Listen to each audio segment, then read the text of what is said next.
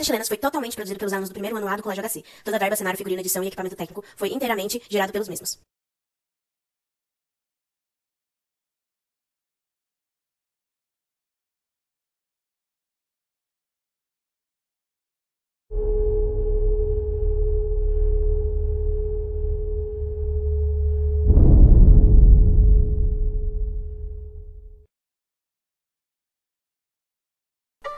Na cidade de Vila Rica, nada estava indo bem. Além disso, com a chegada de Fanfarrão Minésio, a vontade de contra-governo foi cada vez maior para a população. Anda-lhes, anda-lhes, vermes! Eu tenho que ir embora desse lugar infestado de pobreza! Hahaha, mais dinheiro para o chefão aqui! Mas nós estamos aqui para pagar os impostos. Para esse governo ladrão, a gente lutando para pagar os impostos enquanto família, amigos do governador, deita e sobre o nosso dinheiro. Até quando, meu Deus? Rápido, rápido, você não tem o que fazer, pois eu tenho! Não tem como pagar? Novamente? Já faz meses que tu não pagas. Como você acha que essa cidade funciona? E pra quem não paga, há sempre a consequência. Guarda, prenda! Misericórdia, senhor. Tenha misericórdia desse pobre trabalhador. Ah, agora foi a, do- agora foi a gota d'água. Pelos meses que você não pagou. Piedade, senhor. Eu tenho 600 para criar. Piedade, piedade tinha de mim. E eu tenho a cidade inteira pra governar. Próximo! Assina aqui.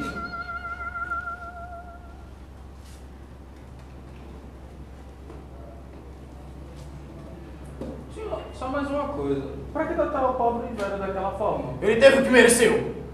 Mas o que, que o pobre pode fazer, já que ele não tem dinheiro pra pagar? A azar é dele. Quer ir pra cadeia também? Perdão, senhor. Agora sai da minha frente.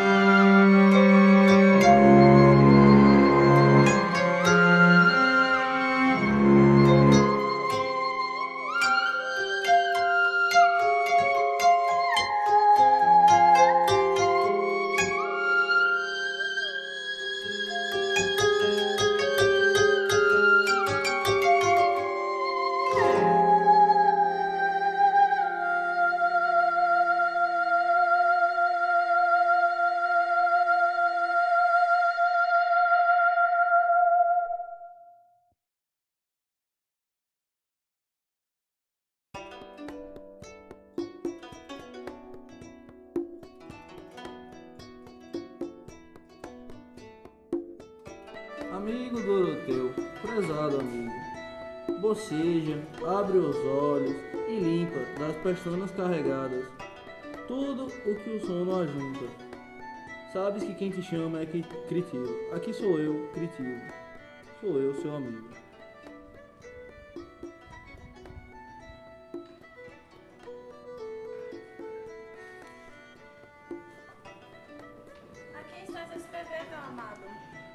Estou a contar a Doroteu, meu amigo, a chegada do fanfarrão Minésio, aquele imbecil. Ah, continue, não quero atrapalhá-lo. Me entregue a carta quando terminar de escrever. E não esqueça de ser bem sigiloso. Sim, estou até usando um pseudônimo, Critilo. Criativo o nome, não acha? Bonito nome. Obrigado, minha querida.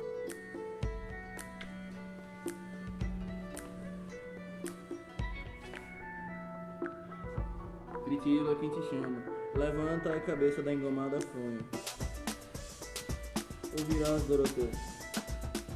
Estranhos casos Jamais vistos.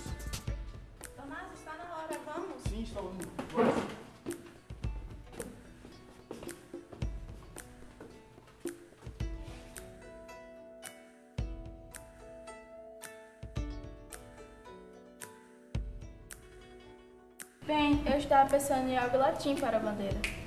Tipo o que, Maria? Só tu sabes falar latim, como aprendeste na igreja. Estava pensando em libertas quais será também.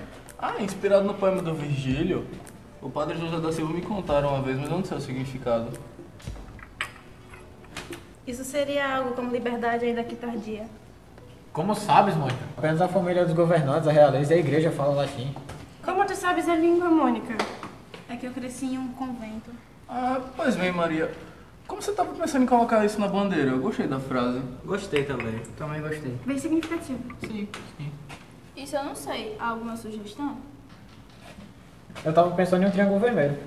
Uma referência à Sagrada Trindade. Segundo a maçonaria, representa a junção dos ideais de liberdade, fraternidade e igualdade. Como também são os elementos básicos da Revolução Francesa, como já devem saber. Genial, acho que combinaria. Então vamos desenhando aqui.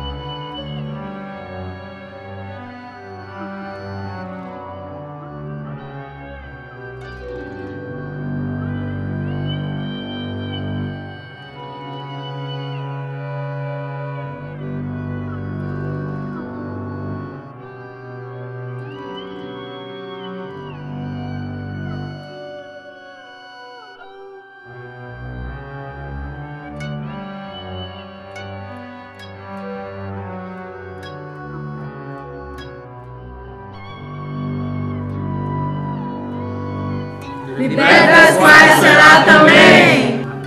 Ao futuro! Ao futuro! Ao futuro.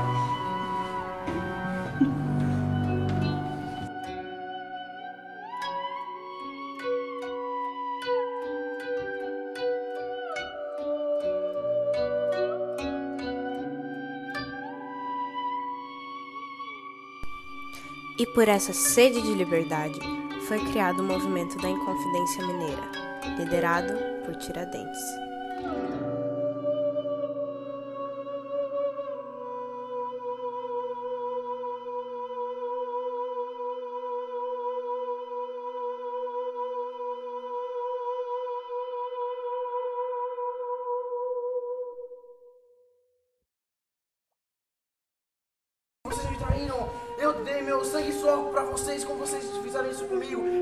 Pelas costas. Ora, pois.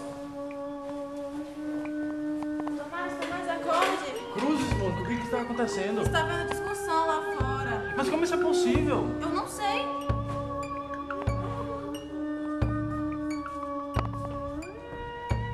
Como vocês puderam fazer isso comigo? Me esfaquearam pelas costas. Eu confiei em vocês, ajudei todos aqui nessa cidade. Ajudei cada um de vocês e é isso que vocês fazem comigo? Muito obrigado. Ouçam-me todos, estou sabendo que está tendo uma, uma grande revolução co- contra meu nome. Estou realmente muito magoado com todos vocês. Como ele descobriu? Estamos mortos. Não sabemos. Sim, ele não sabe de nada. Qualquer um teria feito isso nessa cidade. Ah, quantas calúnias ele diz, meu Deus. Mas agora, Tomás, o que iremos fazer? Bom, vamos nos reunir e ver o que, que a gente pode fazer. Esse ser, cara de pau, tem coragem de vir aqui contar lorotas pra ficar bem visto pela população. Eu estou farta desse governo cheio de tirania, corrupção e abuso de poder. Mas isso é muita centralização do poder. Ouçam-me todos! Eu dei meu sangue e suor por essa cidade. Ajudei cada um de vocês. E o, e o que vocês fazem me trai pelas costas. Olhe, cada um de vocês tem que saber que muitos não pagam imposto. A vida é injusta mesmo.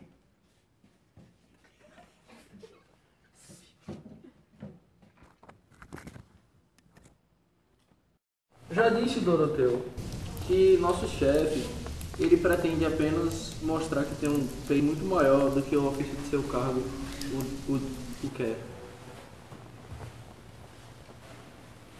Tomás, o que está acontecendo? Nosso grupo foi descoberto? Não sei, Mônica, mas deve haver um traidor entre nós. Não é possível, todos são de extrema confiança. Como alguém pode contar? Nós fizemos um juramento. Quem quebrasse esse juramento.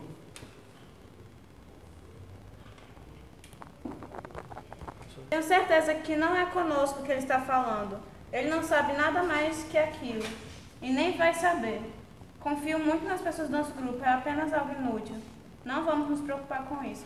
Não sei, Mônica, não sei. Acho que é melhor a gente se encontrar. A reunião estava marcada para quarta, mas é melhor adiar para amanhã. Ele deve estar falando nisso? Mas é melhor tomar precauções, não? Concordo. Agora vou para a igreja rezar um pouco. Fique aí pensando no nosso grupo.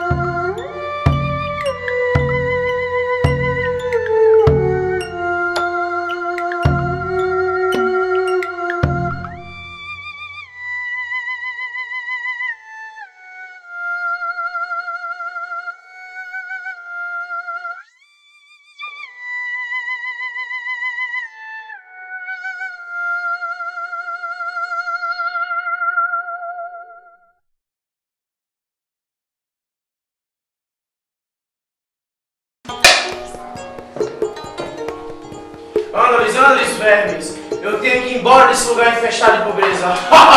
Mais dinheiro para o chefone. Corta. Mais alto. Não pega o microfone assim. Galera, bora fazer o seguinte, todo mundo fala no Beleza. né, pra escutar, Beleza. porque a gente tá Beleza. assim, enfim, É só pra acho dar uma pessoa tá em pé. Cadê o giz? Outra coisa. Gente, todo mundo faz silêncio, presta atenção e foca no que vai falar. Vamos ter...